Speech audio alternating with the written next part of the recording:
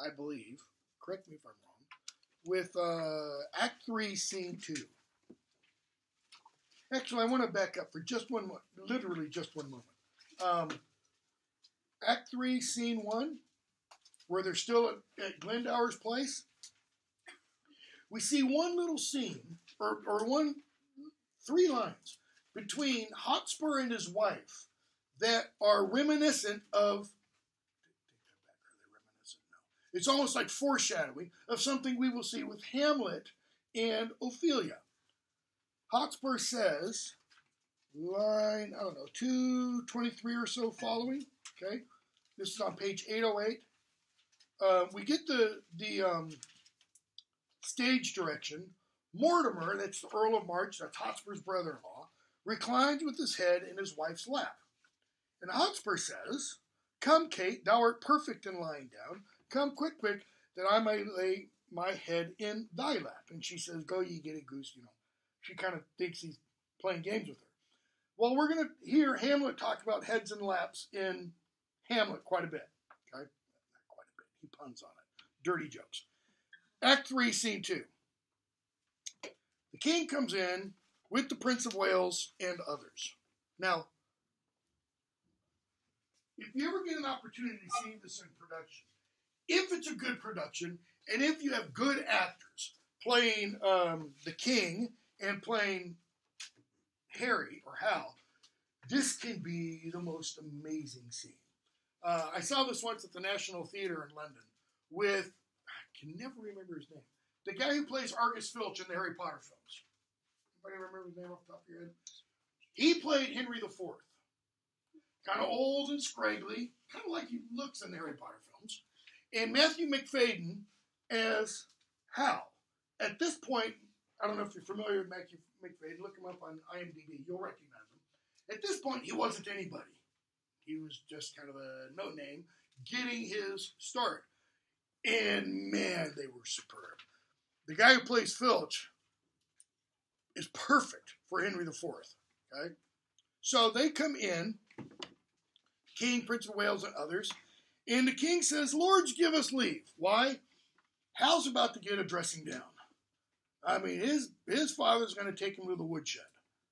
Prince of Wales and I must have some private conference, but be that is, stay just outside the doors, as it were. For we're going to have need of you. And so they all leave.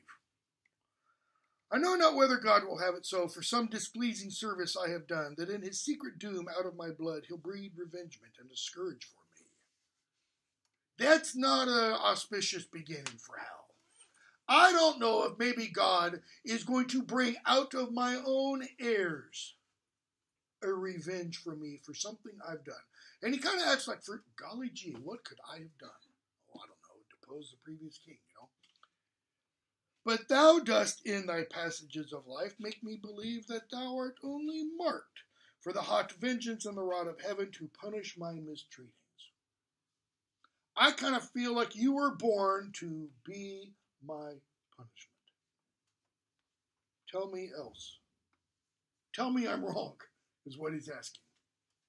Could such inordinate and low desires, such poor, such bare, such lewd, such mean attempts, such barren pleasures, barren there meaning empty, not producing anything long lasting, rude society, as thou art matched with all and grafted to. Grafted to means you have supplanted me, your real stock, with what? Falstaff. Look at the very name. Fall staff. A staff that's fallen. No longer upright, no longer strong. Accompany the greatness of thy blood and hold their level with thy princely heart. How? So what's he just said? What he just asked his son? Are, are you to be my death? I mean, that's really what he's getting at. Are you going to overthrow me? Are, are, are you God's punishment on me? Because look at who you're hanging around, with. Look at what you're doing. So please, your majesty, I would I could quit all offenses with as clear excuse as well as I am doubtless I can purge myself of many I am charged with all. I would, I wish, I desired that I could quit all offenses with a clear excuse. He's saying, I can't. I can't clear them all. As well as I am doubtless, I can purge a lot that I'm accused of. In other words, there's a lot of stuff being said about me. Some of it's true, some of it's not true. Yet such extenuation let me beg. Extenuation, extenuating circumstances. There are there are reasons, okay, to help explain. As in reproof of many tales devised, which off the ear of greatness needs must hear by smiling pickthanks and base newsmongers. Man, you really wonder what Shakespeare would think about the news media today. I may for some things truth, true, wherein my youth hath faulty wandered and irregular, find pardon of my true submission. That is, I can tell you some things that would, I hope, pardon me for some of my real faults. God pardon thee. Notice, simple declarative statement. God pardon you. Not, not a conditional. If Yet let me wonder, Harry. Wonder doesn't just mean I'm not sure. It can also mean, but I'm amazed, at thy affections, which do hold a wing quite from the flight of all thy ants. You don't behave like anybody in your family did. Not immediate family, not his younger brothers, but you don't behave like I did. You don't behave, behave like my father did, John of Gaunt. You don't behave like John of Gaunt's father, Edward III, did. Okay? Thy place in council thou hast rudely lost.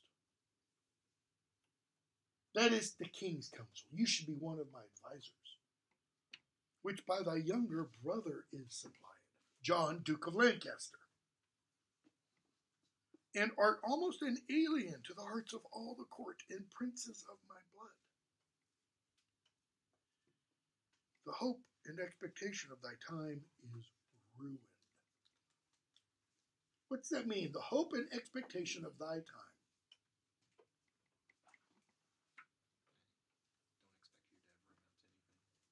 Yeah, your time when you become king, people don't hope at all for. It. They don't expect anything from you. And the soul of every man prophetic, prophetically do forethink thy fall. so he tells how how he won the affection of the people. This is kind of like a manual of statecraft. I don't know that you know political advisors tell the politicians they work for to do this, but they should, because this is brilliant. Listen to what he says. Had I so lavish of my presence been, so common hackneyed in the eyes of men, so stale and cheap to vulgar company. Okay, so lavish, so common, so stale. The so, so, so, it's comparative. To what? To you. If I had been like you are, opinion, broadly generally conceived? No. Public opinion. That did help me to the crown had still kept loyal to possession. That is, to he who possessed the crown, Richard II, and left me in reputeless banishment, a fellow of no mark nor likelihood. If the people, back when I was just banished Bolingbroke, saw me as lavish in my presence as they see you, so common ha- what is hackneyed? What's a hack writer? Because it's short for hackneyed. Yeah, or poor. Someone who just churns. I mean, the kind of novels you see at the checkout line in you know grocery stores. They just churn out one after another. Usually the same novel. Okay. So stale and cheap to vulgar, vulgar, lower class, common company. he says, if I had been like that, then the public opinion would have still stayed with Richard. But, but always implies a contrast, a turn. Like a comet, I was wondered at. Wondered, amazed. And comets, especially back in this period, always meant something. It's always a sign. Like a comet, I was wondered at that men would tell their children, This is he. Others would say, Where? Which is Bolingbroke? Notice, this is he, and others would say, Which one? Because they were so unfamiliar to seeing. And then I stole all courtesy from heaven and dressed myself in such humility. I stole, he doesn't mean literally stole, he pretended to have heavenly manners, humility. And did what? Dressed myself in such humility. That's the courtesy from heaven. But it's what? It's a dressing. If he dresses himself in it, what else can he do? Take it back off. It's not real humility, okay? That I did pluck allegiance from men's hearts, loud shouts and salutations from their mouths, even in the presence of the crowned king. So even when he and Richard were in the same room or in the same area, people were crying out, not long live the king, but they were calling out, Bolingbroke, Bolingbroke, Bolingbroke.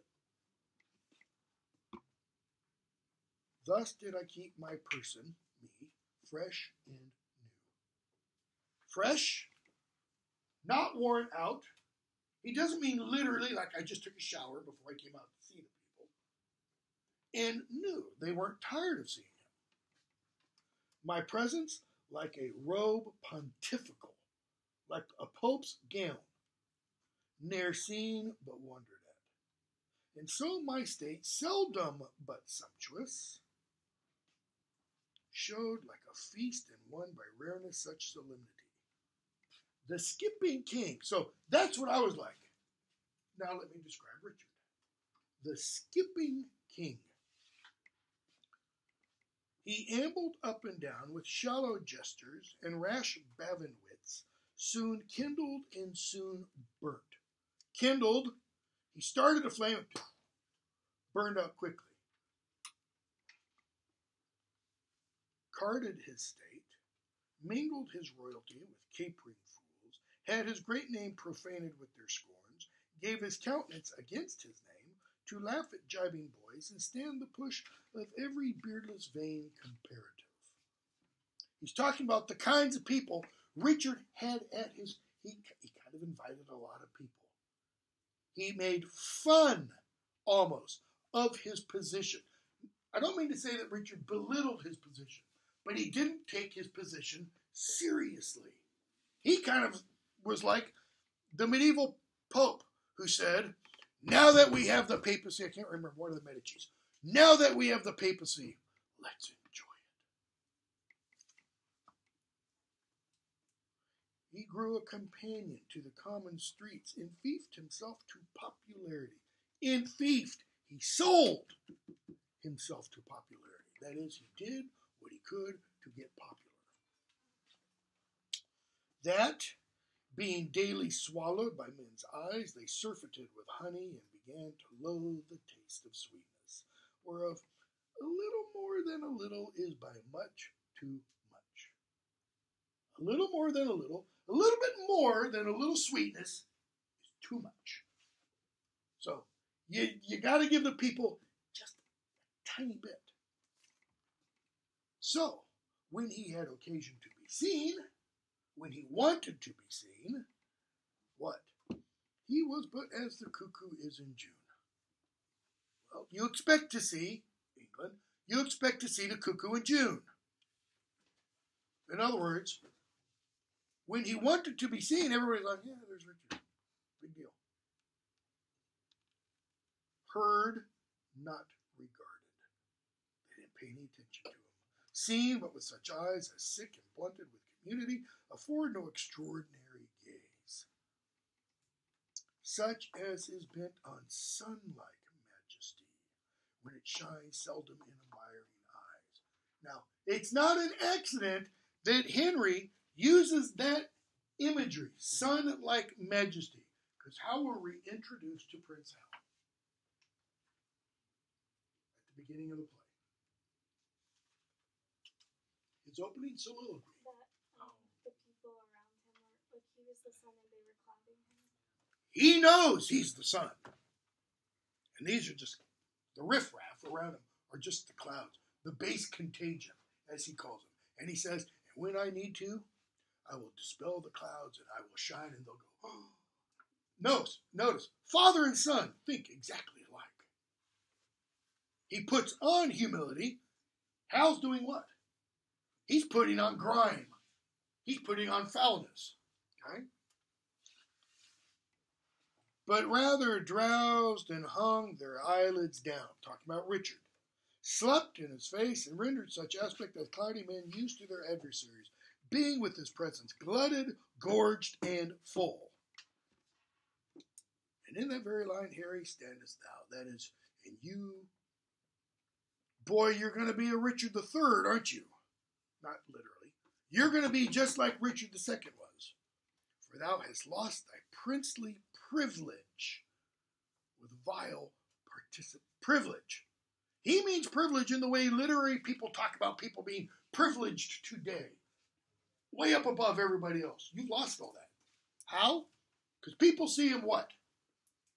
Coming in and out of whorehouses, coming in and out of bars, hanging around with lowlife.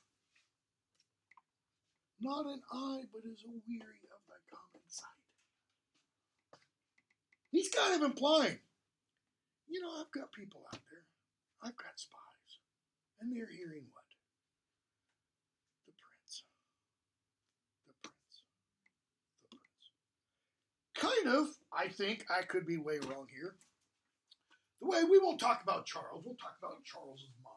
Queen Elizabeth had to think about Harry before he finally settled down, Prince Harry tabloids, him with hookers in Las Vegas, tabloids with him with beautiful women, various, various other places. She's got to be you know, this guy's third in line to the throne. If anything happens to Charles and Will, what the hell's going to happen? And he finally, you know, settles down, so to speak. Save mine. That is, you're not weary in my common sight. Why? Because I don't see you. I've desired to see thee more which now doth that I would not have it do, make blind itself with foolish tenderness. That is, but now I blind my sight with foolish tenderness. I'm being too easy. I shall hereafter, my thrice gracious Lord, be more myself. I'll be the real me. For all the world as thou art to this hour was rich. And so he makes clear that Hal understands was Richard then when I from France set foot at Ravenspurgh. But then he kind of thrusts the metaphorical knife and twists it. And even as I was then, is Percy now. You're like Richard, and Hotspur is like me. What's he saying? He's not saying Hotspur should be king. He's going to. He's saying Hotspur is going to be king if you're not careful, because Hotspur is going to win what? The He's going to win the people's favor.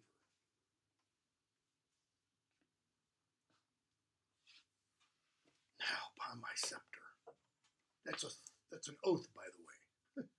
He's swearing by the greatest thing he can swear by. And my soul to boot, he hath more worthy interest to the state than thou the shadow of succession. He deserves to be king. For of no right nor color like to right, he doth fill fields with harness in the realm. That is, when Hotspur marches out and he calls for people to come to his side, they go willingly. He can raise an army. What kind of army is Henry implying? Hal is going to raise. Hmm. Not a very. Not a very or strong one. He turns head against the lion's armored jaws. The lion's armored jaws, that's Henry. You know, the royal seal has two things on it it's got a unicorn and a lion. I'm the lion. The unicorn, if I remember correctly, comes from the unification with the Welsh house. So, being no more in debt to years than thou. That's Shakespeare's reducing the age of Hotspur to make him the same age as Hal. He leads ancient lords and reverend bishops on to bloody battles and to bruising arms. Notice, he leads, not he's led by. What never dying honor hath he got against renowned Douglas? The very name Douglas implies, in kind of English mythology, you know, along with the Scots, mighty warrior. And in fact, Douglas is usually referred to as the Douglas, like the champion, whose ideas, whose hot incursions, blah, blah, blah, blah, blah. Okay? He goes on and talks about Hotspur. Thrice hath this Hotspur Mars in swaddling clothes. He's like a baby god of war. This infant warrior in his prices, enterprises discomfited great Douglas. He's thrice defeated Douglas, taken him once, enlarged, freed him, and made a friend of him, to fill the mouth of deep defiance up and shake the peace and safety of our throne. What's the purpose of this part of the speech? What's he saying to Hal?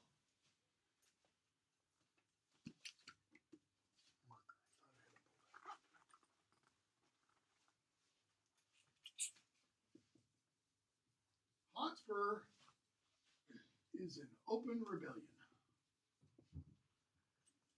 And he's got the Douglas on his side now. And wherever he goes, people come out and flock to him. What's the purpose? The purpose of the conversation is not simply to dress down Hal, it's to inform him. Why? Because Hal's not been around for months at the prince at the king's council. He doesn't know what's going on. So he's saying, "Oh, it's bad. Here's how bad it is." And and what say you to this? So, it's not just Hotspur, Percy, that's Hotspur, Northumberland, the Archbishop of York, Douglas, Mortimer, capitulate against us and are up. Capitulate. It means they form a head against us. This, this isn't a minor rebellion. Northumberland is one of the most powerful dukes in all the land, has one of the largest estates. The Northumberlands, if I remember correctly, were one of the groups that probably sided with Philip II of Spain against Elizabeth and might have been involved in or were involved in the Spanish Armada. Okay? But wherefore do I tell you thee, these news to thee? Why, Harry, do I tell thee of my foes, which art my nearest and dearest enemy? That is, he's nothing compared to you. You are the worst enemy I have. Thou that art like enough through vassal fear, base inclination, and the start of spleen to fight against me under Percy's pay. How do I know you won't turn against me? To dog his heels and curtsy at his frowns, that is, to do what he asks, to show how much thou art degenerate.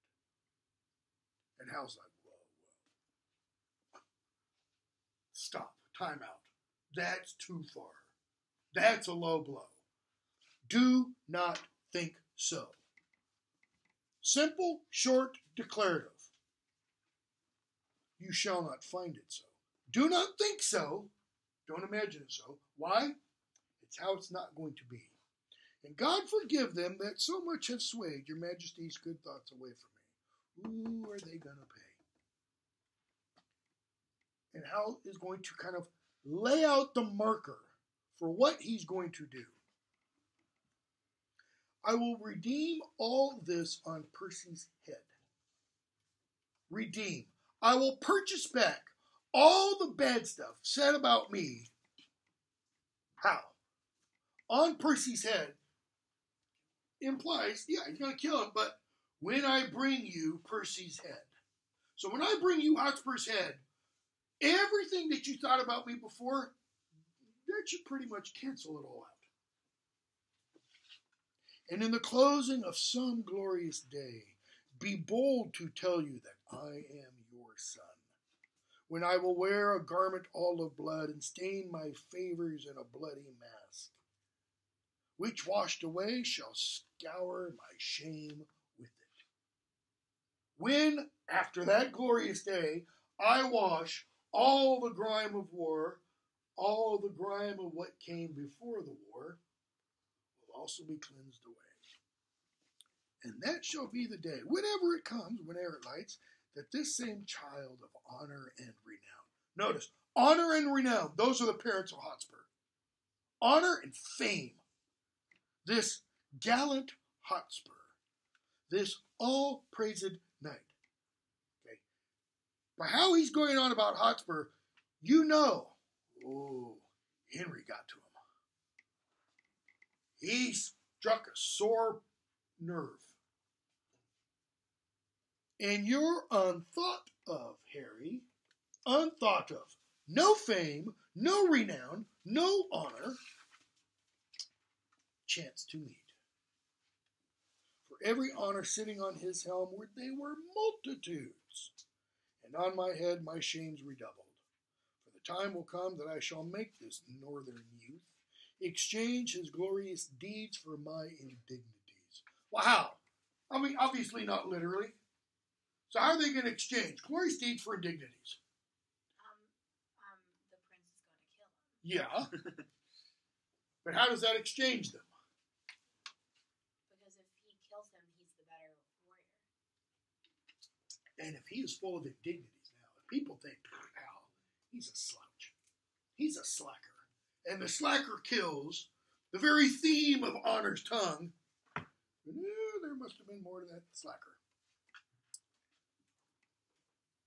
Percy is but my factor, good my lord. That is, I will multiply by him. Shakespeare loves all kinds of different metaphors. I will, uh, he's but my factor, good my lord, to engross up glorious deeds on my behalf, and I will call him to so strict account that he shall render every glory up, yet even the slightest worship of his time, or I will tear the reckoning from its heart. This, notice, not by your silly little scepter. In the name of God, I will promise here. Well, that's, again, that's an oath. And assuming for the moment he believes in the power of his oath and in God, he's saying, God help me. Obviously, if he loses, God didn't help him. God said, nope. And if he wins, ah, God favors me in the name of God, I promise here, the which, if he be pleased, notice qualification, if God is pleased with what I've said, I shall perform. I do beseech your majesty may salve the long grown wounds of my intemperance. If not, the end of life cancelled all bonds. That is, when I die, all debts are paid, and I will die a hundred thousand deaths ere break the smallest parcel, parcel of this vow. Henry, a hundred thousand rebels die in this. Thou shalt have charge and sovereign trust herein. May a hundred thousand rebels die because of your words. He's not saying that literally. I think what he really means is your words are as good to me as a hundred thousand dead rebels. Oh, hell, you don't know what ease you've put my heart so Blunt comes in. And Blunt tells him Mortimer, Douglas, etc., the English rebels, they're met at Shrewsbury. Okay? So the king says, All right, here's what we're going to do. Earl of Westmoreland set forth today, with him my son, Lord John of Lancaster, second in line after Hal. Notice, he's already marching to war. He's not very old. He's in his early teens. On Wednesday next, Harry, you shall set forward. Thursday, we ourselves will march. Our meeting is Bridgenorth. Harry, you shall march through Gloucestershire, by which account our business value at some 12 days hence. Our general forces at Bridgenorth through me. So we get 3 3. 3 2 is a pretty serious scene, right? 3 3, Shakespeare says, we need a little levity. We got to turn it down a bit. Okay? So, uh, we see Falstaff come in with Bardo, Bardolph and Peto and such. The prince comes in,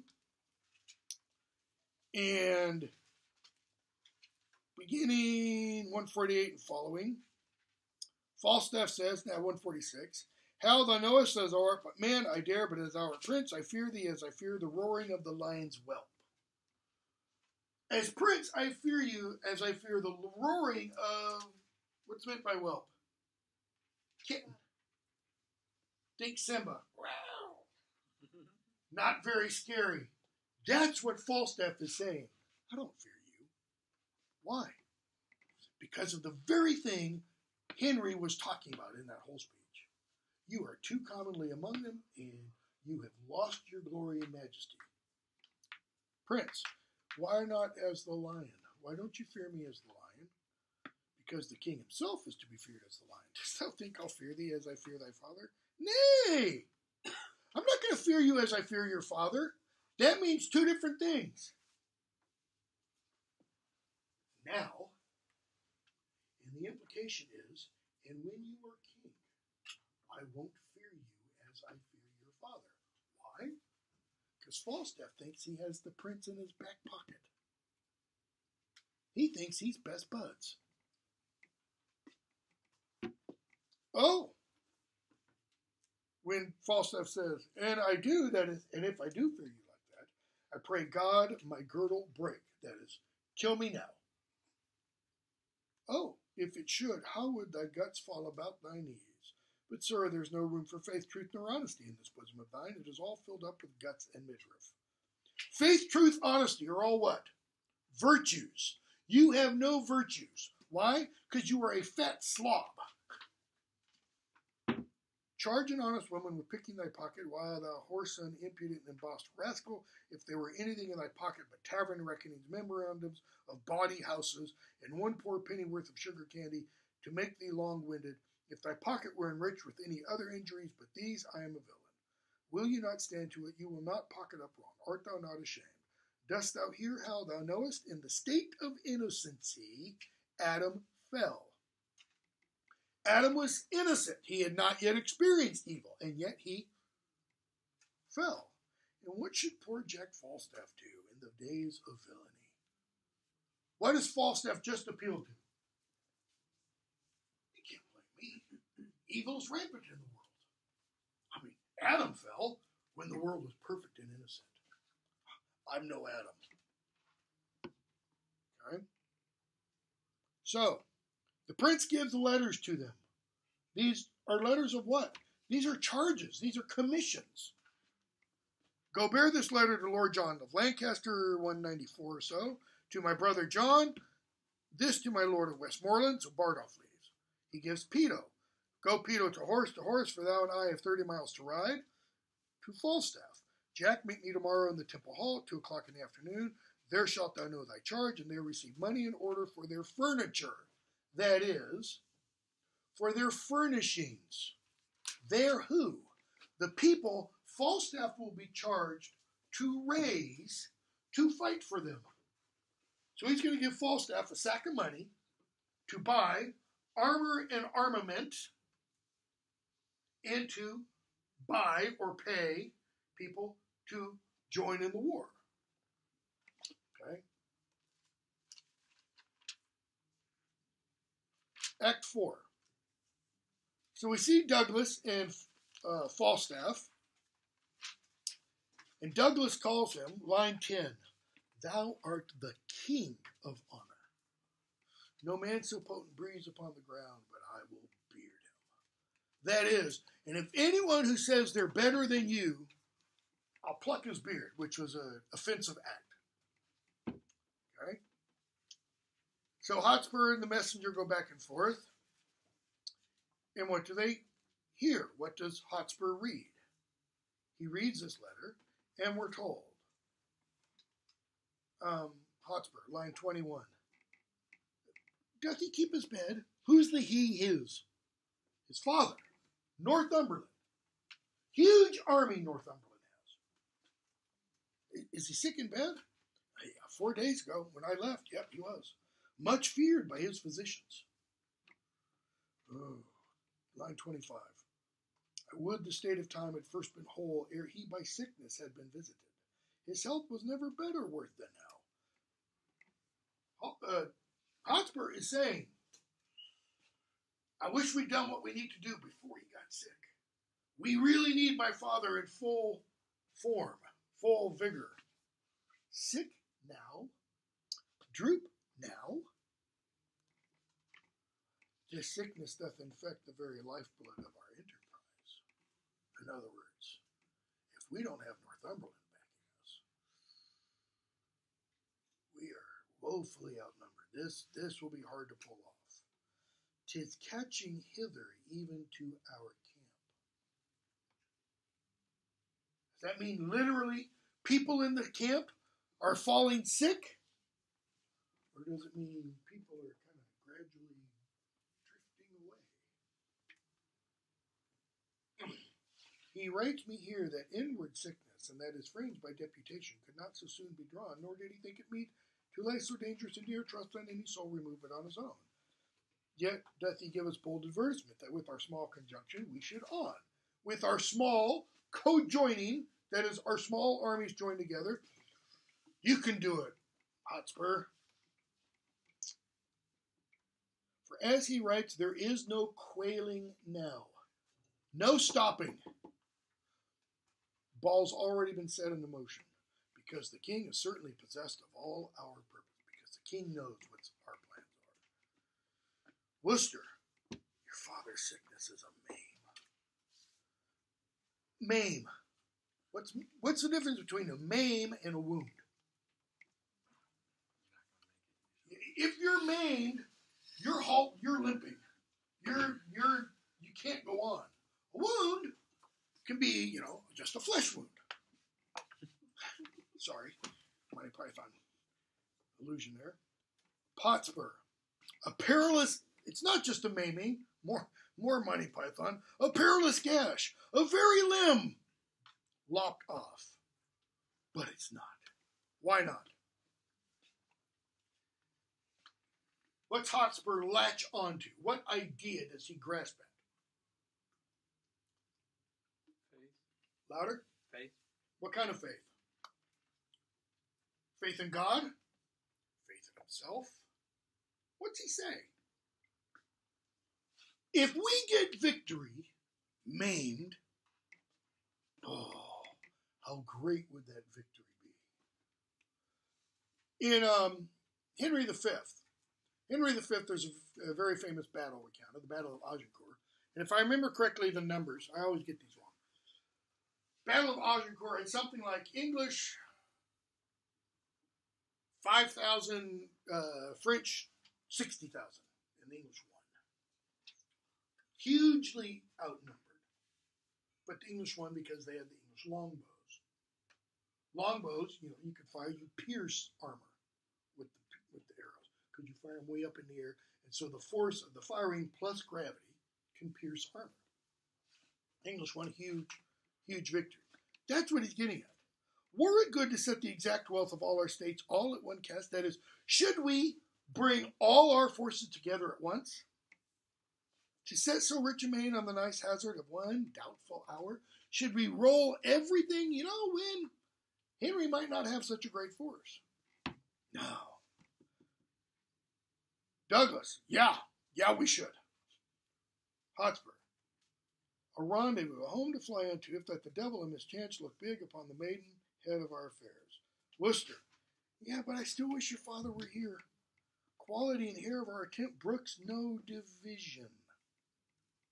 That is, no dividing as well as what's implied by division? United we stand, divided we fall. It will be thought by some that know not why he was away, is away, that wisdom, loyalty, and mere dislike of our proceedings.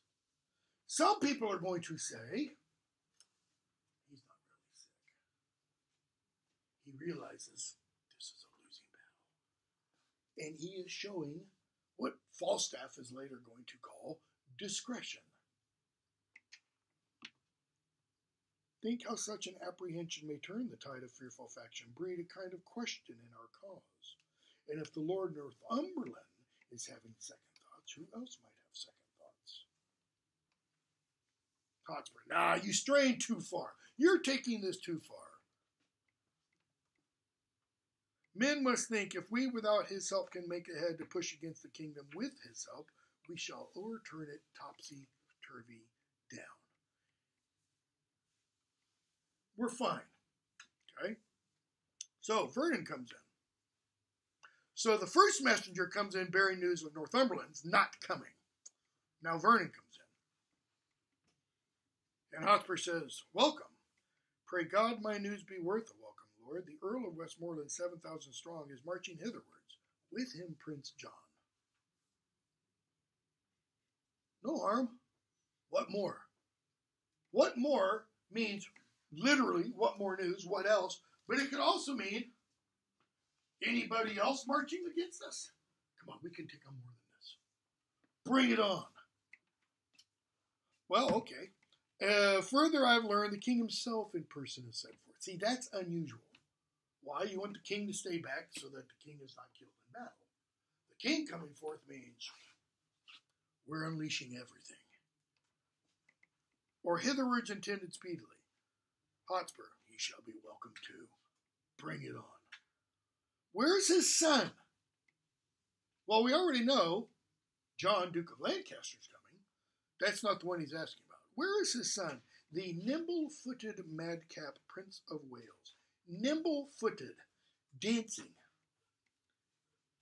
That implies he's known as someone who dances a lot, or maybe not dances, but maybe the nimble footed is like a drunken stupor, stumbling. And his comrades, Falstaff, Bardolph, Peto, Poins, etc., that doffed the world aside and bid it they doff the world aside, meaning what? They don't care what happens. Eh, it's not my problem. Vernon. Oh, oh yeah, I forgot.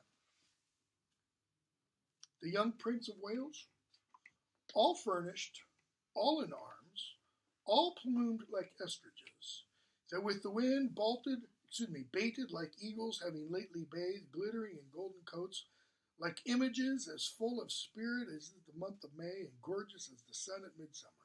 Wanton as youthful goats, wild as young bulls, I saw young Harry. Okay, the young bulls finishes the sentence, and then he says, I saw young Harry. The way Shakespeare creates it, it's almost like everything before that. Oh, that that's the prince. He is like a young bull, a young goat. He's like the sun has anointed him. With his beaver on, that is his helmet on, his cuisses on his thighs, his armament, his metal armor on his thighs, gallantly armed, rise from the ground like feathered Mercury. Well, who is Mercury? Messenger of the gods. In other words, he's coming with a message. And vaulted with such ease into his seat as if an angel dropped down from the clouds to turn and wind a fiery Pegasus, that is to give wind to, and witch the world with noble horse, witch there means bewitch, to enchant the world with noble. You haven't seen a man on horseback like this man. Hotspur, stop, stop, stop. Worse than the sun in March, this praise doth nourish agues. It makes me sick. Let him come. They come like sacrifices in their trim. In their trim, in all their decking. Because you don't just take a sacrifice, you know, in what they're normally wearing. No, you dress them up. You put robes on them. You put incense and such around them. He's saying these are sacrifices coming to the slaughter. To the fire eyed maid of smoky war, all hot and bleeding, will we offer them. The mailed Mars shall on his altar sit up to the ears in blood. I am on fire. Okay. Vernon. Oh, more news. So I forgot. Um, because Hotspur says, "Oh man, I wish Glendower were here. We would wreak havoc on them." Oh, oh yeah, forgot. Glendower can't come. Uh, two weeks. Douglas. That's the worst tidings I ever heard of yet. Worcester. That bears a frosty sound. What may the king's whole battle reach unto? How many men does the king have? Uh, 30,000. Let it be 40. My father and Glendower both being away, the powers of us may serve so great a day. Come, let it. He's not named Hotspur accidentally, right? He wants to kill. Okay? So, 4 2. Falstaff comes in with Bardolph. And Falstaff describes, lines 14 and following, the kind of man he has raised to be in charge of. I press me, and he's talking about the British practice of impressing, also sometimes just called pressing, where soldiers would go into a town and they'd go into the local pub, and anybody that was there, any males that were there, the Marines would jump, put them in shackles and irons, for the Navy at least, and take them off to the nearest naval ship, and you're now a member of the Navy. Even if you are a freeborn person. It's called pressing. So, Falstaff presses people, he forces them into fighting for the king. But who does he force? I press me none but good householders, yeomen sons, inquiring me out contracted, that is, to be married bachelors. Such has been asked twice on the banns. That is, the banns had been read twice in church. There's only one more Sunday, and then the marriage. Such a commodity of warm slaves as had is like here the devil as a drum, such as fear the report. I press me none but such toast and butter with hearts in their bellies no bigger than pins' heads, blah, blah, blah, blah, blah. Slaves as ragged as Lazarus in the painted cloth. The painted cloth, Lazarus in his winding clothes when Christ called him out of his tomb. In other words, these guys aren't very fit and hardy. Okay? Where the glutton's dogs licked his sores, and such as indeed uh, sorry, different Lazarus. This is the parable of Lazarus and the rich man. This is the poor Lazarus who doesn't even have many clothes, okay, lying at the rich man's gate. And such have I, line 31, to fill up the rooms of them as have bought out their services, you would think that I had 150 tattered prodigals lately come from swine keeping, parable of the prodigal son, and pressed the dead bodies. No eye has seen such scarecrows. I'll not march through Coventry with them, that's flat. Nay, and the villains march wide betwixt the legs, as if they had gyves on, for indeed I had the most of them out of prison. He's got the dregs of humanity. Okay? Prince comes in with Westmoreland. And they talk about the kinds of people that Falstaff has impressed. Westmoreland, line 67. But Sir John, methinks they are exceeding poor and bare, too beggarly. Too beggarly. He doesn't mean these aren't the finest, these aren't the chosen. He means they don't even have enough food in their bellies. You, you can't expect these men to fight. Faith for their poverty, that is, their beggarly for their poverty. I know not where they had that. I don't know why they're poor. And for their bareness, I, they didn't get that from me. No, but I'll be sworn unless you call three fingers in the ribs bare. But, sir, make haste. Percy's already in the field. Is the king encamped? He is, Sir John. I fear we shall stay too long. Okay? 4 3. Hotspur, Vernon, Douglas, Worcester, etc., talking again. And in Blunt comes, line 32 and following. Blunt comes with an offer from the king. Why is the king making an offer?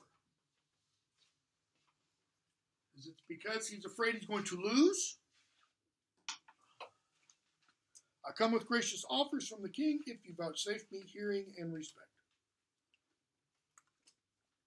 If you will show me respect and if you will listen to my offer, Hotspur, you're welcome. Come on in. Oh man, I wish you were on our side. That's what would to God you were of our determination means. We could use you. Some of us love you well. And even though some envy your great deserving and good name because you are not of our quality, but stand against us, and some of us even respect you because you're not one of us. Okay? Blunt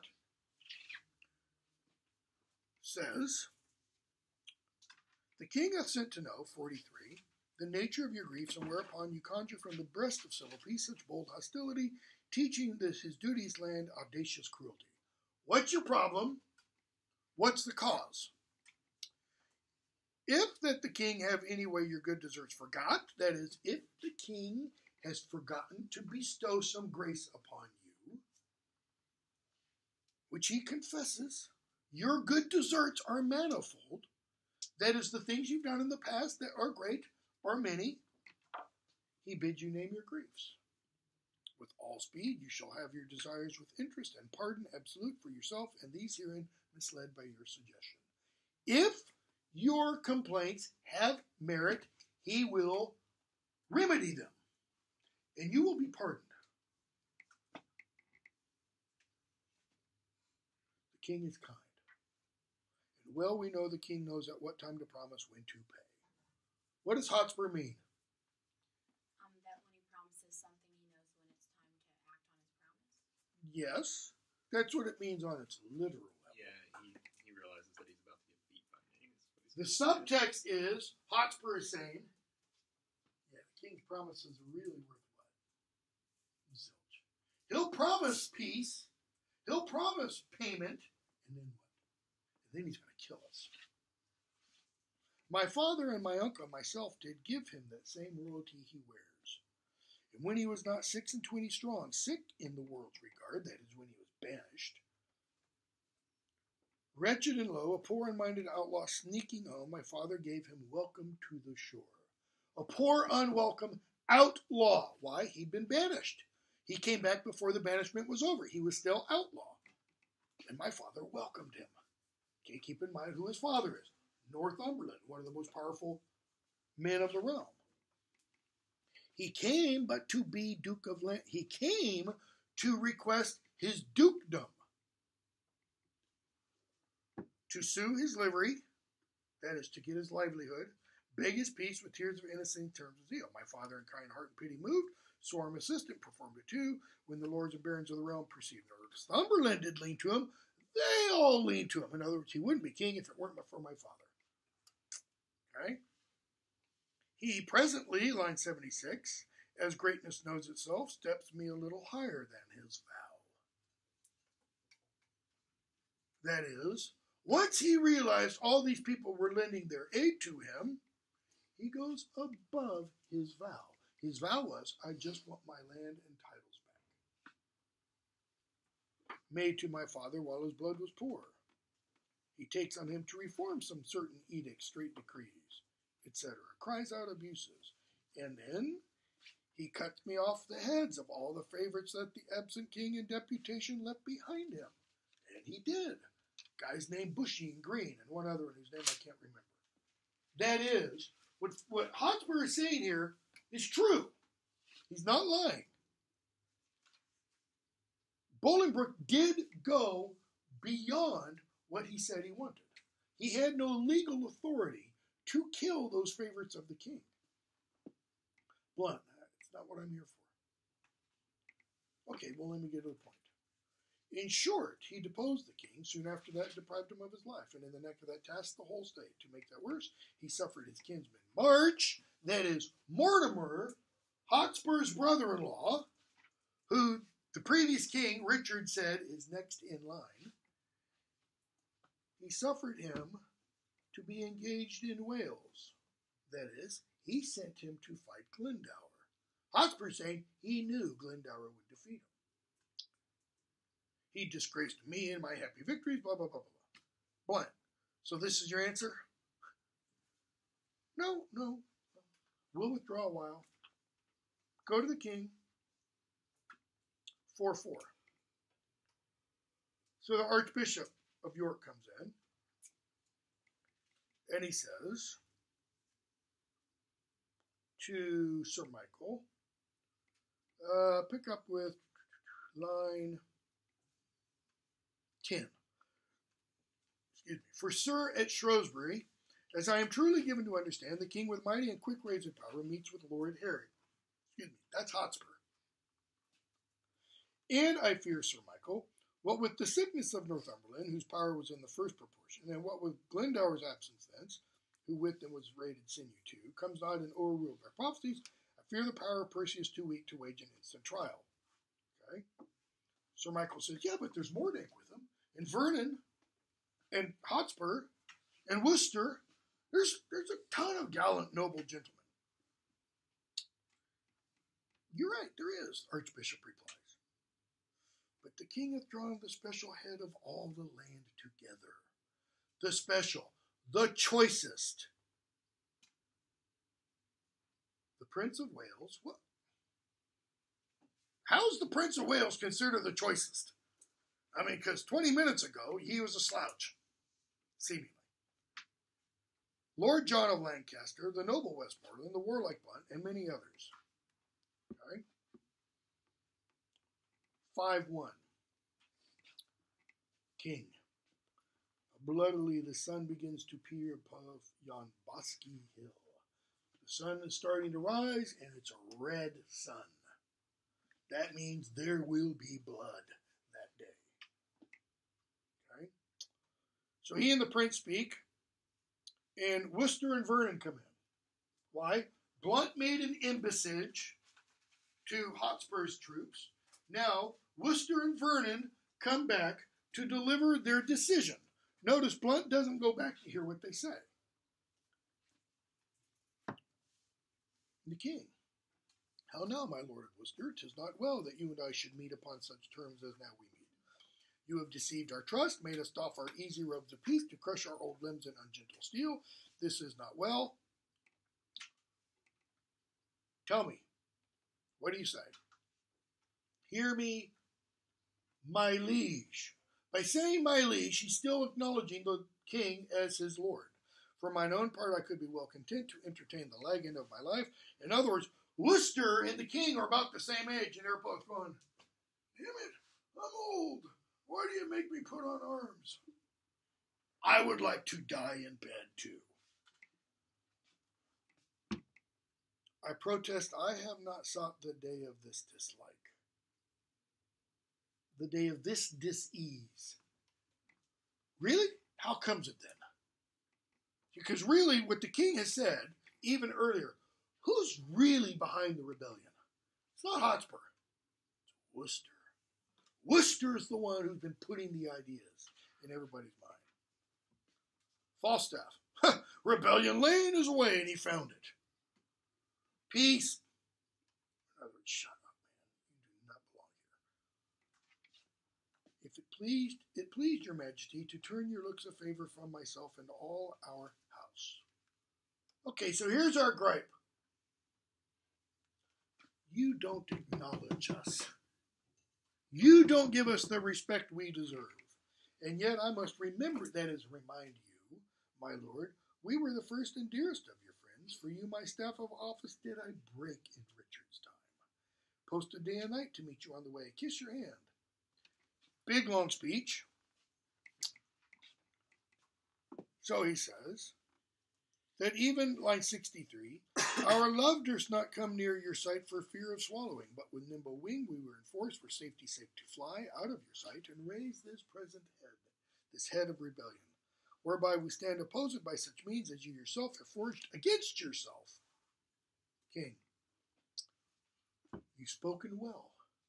These things indeed you have articulate, proclaimed at market crosses, read in churches, face the garment of rebellion with some fine color that may please the eye of fickle changelings and poor discontents. This is just some of what you have said. To do what? To persuade the people. You've said it where? Market crosses. That is literal crosses in markets, kind of like free speech zones. People come to listen. You've read it in churches, etc. To please the eye of fickle changelings, poor discontents, which gape and rub the elbow at the news of hurly burly innovation. Hurly burly innovation. Innovation. If something's innovative, it's what? It's new. MTSU's got this redesigning general ed going on. One of the buzzwords they use all throughout this document. It's innovative. As if what is new is always and necessarily better. Okay? But he calls it hurly burly. That is without rhyme or reason. It's merely caught up in the moment. Never yet did insurrection want such watercolors to impaint his cause. That is, insurrection uses watercolors to do what? To paint broad strokes. What's he saying? What are the particulars? And so the prince addresses. This is how. Even though John of Lancaster is a prince, whenever prince, it's how. In both your armies there is many a soul shall pay full dearly for this encounter, if once they join in trial. What's Hal saying? A lot of men are going to die on both sides. Tell your nephew. Who's his nephew? Who's Worcester's nephew? Hotspur. The Prince of Wales does join with all the world in praise of Henry Percy. Tell, tell Hotspur, I praise him. By my hopes, this present enterprise set off his head. I do not think a braver gentleman, more active, valiant, more valiant, young, more daring, or more bold, is now alive to grace this latter age with noble deeds.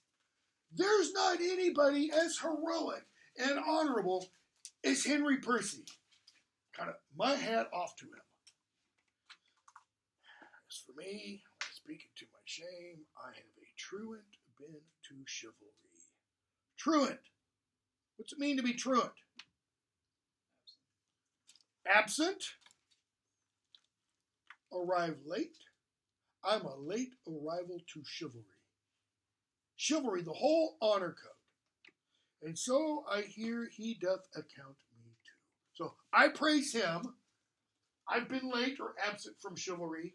And, and word has reached me that he also thinks I've been late to chivalry. Yet this before my father's majesty. That is, here's an offer. Before my father. I am content he shall take the odds of his great name and estimation, and will, to save the blood on either side, try fortune with him in a single fight. Let Hotspur and I come out, single battle. Everybody on both sides watch. What's the what's the offer? Whoever wins, that side wins. I kind of imagine that immediately the king's going, No, What? yeah, what? and Prince of Wales, so dare we venture thee. Well, something's happened between 4 1 and now. The king now believes what? I think he can do it. I think he can beat Hotspur. Albeit considerations infinite do make against it. No, good Worcester. No. Nope. We love our people well, even those we love that are misled upon your cousin's part. That is, we even love the people that are in that other army that are misled by you and Hotspur. If you guys will take our offer of grace, both he and they and you, yea, every man shall be my friend again, and I'll be his. So tell your cousin, bring me word. And if he will not yield, rebuke and dread correction, wait on us. That is, rebuke and dread correction are waiting for us to what? To bring it. We will bring rebuke and correction, and they shall do their office. You will die. So Worcester leaves. Prince, yeah, there I got to take it. Douglas and Hotspur both together are confident against the world in arms. King, all right, everyone go to your places. So we see Falstaff and Hal. Falstaff says, Man, I wish it were bedtime. And all well. Hal, why? Thou owest God a death. Well, death is often spoken of as what? So and so fell asleep in the Lord. Rest in peace. It's rest, right? The prince says, You owe God a death. Okay? He leaves. Falstaff gets a soliloquy. What's he talk about? Tis not due yet. I'm not ready to die yet. I'd be loath to pay him before his day. What need I be so forward with him that calls not on me? Well, tis no matter. Honor pricks me on. Yeah, but what if honor pricked me off when I come on? That is, what if somebody else's honor kills me when I come on? How then can honor set to a leg? No. An arm? That is, can honor set a leg? Can honor set an arm? Broken leg, broken leg? No. Can it take away the grief of a wound? No. Hath honor no skill in surgery? No. Hell is honor? What is that honor? Air. Because literally, honor is composed of what? Air coming out of your lungs.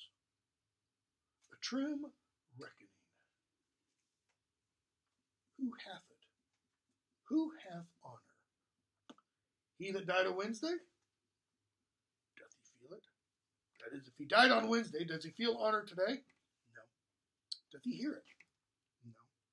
Tis insensible then. Insensible. Two meanings to that word. One, it cannot be sensed by the one who has died. Also, insensible means nonsense. It has no sense to it. Yea, to the dead.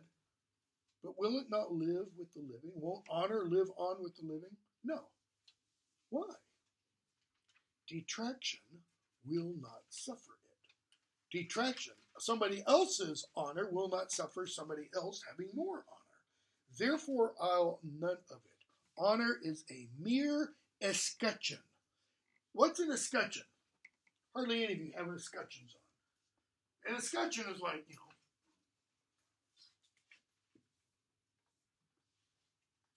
the Nike swoosh. It's a symbol, right? What's it mean? It means Nike. What's Nike mean? God's victory. Okay? Honor is merely something you put on as symbolic. And so ends my catechism. What's a catechism? It's a teaching of some kind of religious truth or dogma. Falstaff's telling us here, I'm serious. I'm not merely mincing words. This, this is what, what does honor get you? Death. 5 2. Worcester and Vernon come in. Okay? Worcester. My nephew must not know, Sir Richard, the liberal and kind offer of the king.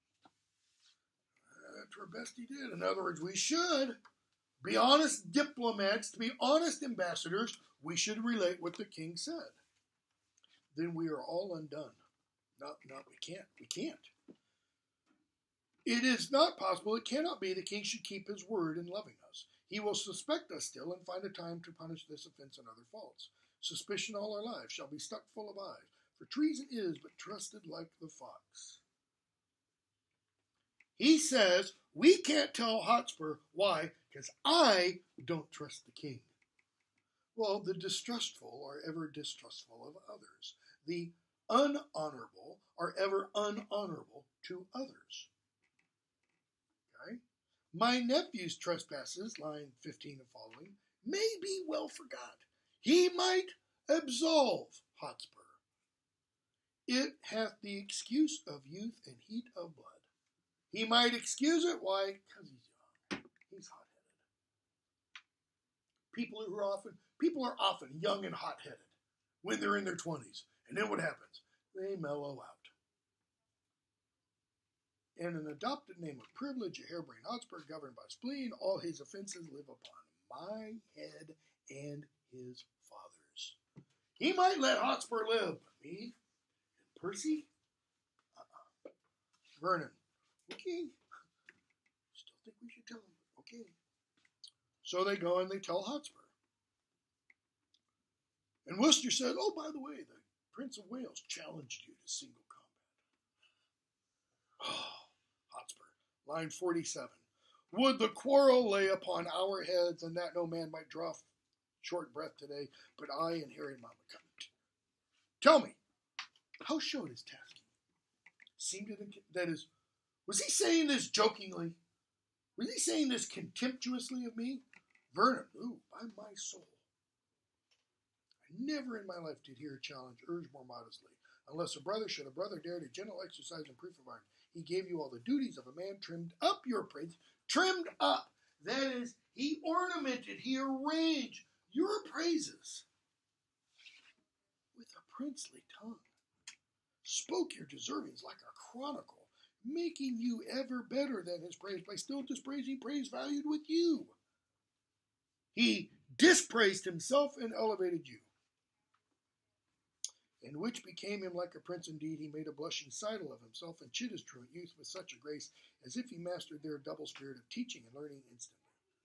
Let me tell the world if he outlived the envy of this day, that is, if you die and he lives, England did never owe so sweet a hope, so much misconstrued in his.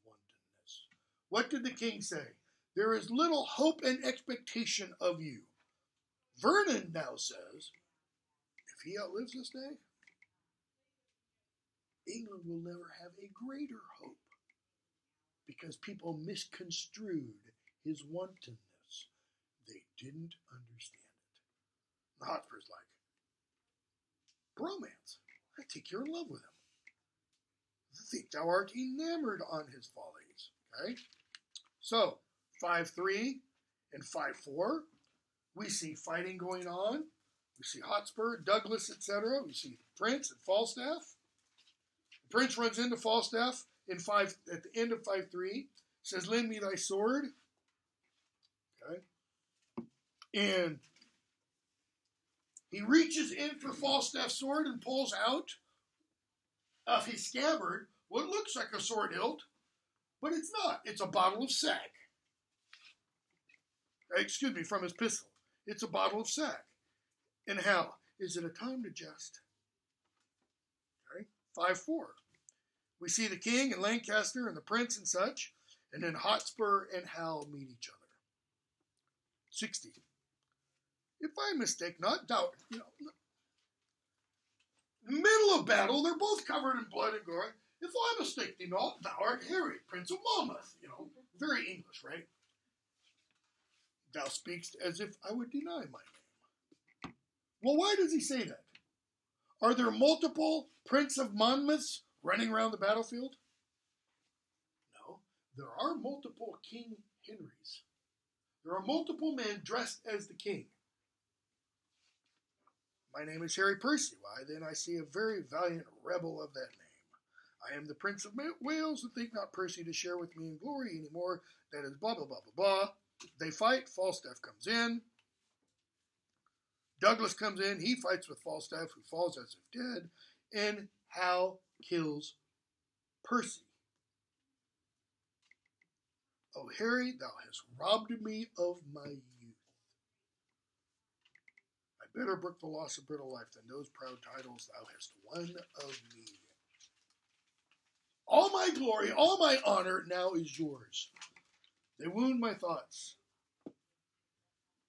Oh, I could prophesy, lines 83 and following, but that the earthly and cold hand of death lies on my tongue. No, Percy, thou art dust and food for Monty Python. And Hal finishes his words. Shakespeare loves this image. He uses it repeatedly in Food for for Worms. Brave Percy. Fare thee well, great heart. Ill weaved. Fare thee well. That could be taken as Hal saying, May God not hold thee- this against you. Because fare thee well means, may your soul receive well. Ill weaved ambition, how much art thou shrunk. This is where ill weaved ambition will get you. When that this body did contain a spirit, what? A kingdom for it was too small a bound. But now two paces of the vilest earth is room enough. This earth that bears thee dead bears not alive so stout. He's praising him. Greater courage, not alive. If thou wert sensible of courtesy, I should not make so certain. If you were still alive, I wouldn't be talking like this. But let my favors hide thy mangled face. And what does he do? He pulls a scarf off that has his heraldic emblem of the Prince of Wales and covers Hotspur's body. Sign of respect, sign of honor. And then he sees Falstaff. Old acquaintance, could not all this flesh keep in a little life? Again, Falstaff needs to be grossly, oh, grotesquely fat. Come on. You're there should be a little bit of life there. But nope. I could have spared a better man. Oh, I should have a heavy miss of thee, punning on heavy, if I were much in love with vanity. If I were really vain, I would miss you even more. Why? Because Falstaff feeds his vanity. What's he saying? I'm not vain. I'm not going to miss you that much. I am going to miss you. But... And he leaves. And Falstaff gets up. He sees Percy. And he thinks, maybe Percy's like I am. Maybe he's only mostly dead. And so he stabs him. Okay? Prince comes back in. Falstaff says, I swear I killed him. Prince says, No, I didn't. Prince says, No, you didn't. I did. He said, Yeah, but he got up afterwards. He's like, Okay, fine. I'll let you take the honor. 5 5. Five minutes to go. Thus ever did rebellion find rebuke. Ill spirited Worcester. Notice Worcester lives. Did not we send grace, pardon, in terms of love to all of you? And wouldst thou turn our offers contrary, misuse the tenor of thy kinsman's trust? He's saying Hotspur is dead. Why? Because you misused his trust. Three knights upon our party slain today. A noble earl, many a creature else had been alive this hour, if, like a Christian, thou hadst truly borne betwixt our armies true intelligence. That tells us word has reached Henry. Vernon in Worcester did not report truly what was offered to Hotspur. What I have done, my safety urged me to, and I embrace this fortune patiently, since not to be avoided it. He goes, You're right. Take him to death. Vernon too. The other offenders we will pause upon. That is, we're not going to kill them yet. We might show them grace. We might show them mercy. How goes the field? Douglas, when he saw the fortune of the day quite turned from him, the noble Percy slain, and all his men upon the foot of fear, fled with the rest. Okay? So, John of Lancaster is going to go chase him down. To you this honorable bounty shall belong. Go to the Douglas, deliver him up to his pleasure, ransomless and free, blah, blah, blah, blah, blah. So the king says, and we'll stop with this, and I'll, I'll make just one or two comments about Henry II, since we're not we're not doing Henry II, right? We're going straight to Henry V. This remains, we divide our power, you son John and my cousin Westmoreland, towards York, shall bend you with your dear speed to meet Northumberland and the prelate Scoop, Scroop, that's the Archbishop of York, who, as we hear, are busily in arms, myself and you, son Harry, will go towards Wales to fight with Glendower and the Earl of March. In other words, The play ends. Battle, man. Henry II Part 2 opens, and there's still battle. But the bad guys have been caught, and some of the armies are still fleeing. And we have Prince John of Lancaster swear to a whole group okay, if you throw down your arms, we'll grant you clemency. They do. They start to disperse their troops, and he turns and slaughters them. He swears on his royal blood. But he's not the king. Prince. He's not the prince next in line to be the king. Hal is. Right? So, in that play, we see Henry die, Henry IV die, and Hal become king. Henry V opens shortly thereafter. Hal has not been king for very long, and the king of France is challenging him. Okay, and that's where kind of Henry V opens. All right, we will stop there, and we are doing Henry V, right? Yeah. That's the next one on the list. Sorry, my brain is. I think I've got a fever. It feels not with me. That entire play is just like, you know, it's like if they cheat with you, like they cheat on you. Like,